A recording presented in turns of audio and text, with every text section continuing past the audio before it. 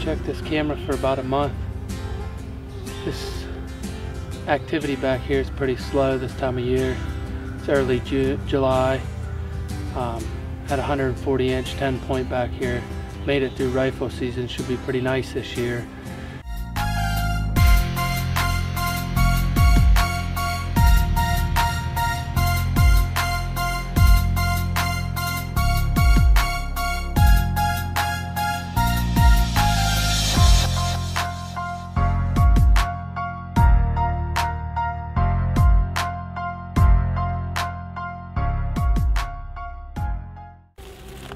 Came in here early June, cleared this out.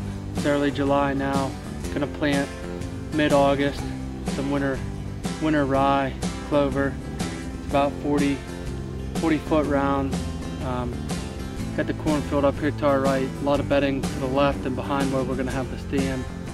Um, should produce some deer this season.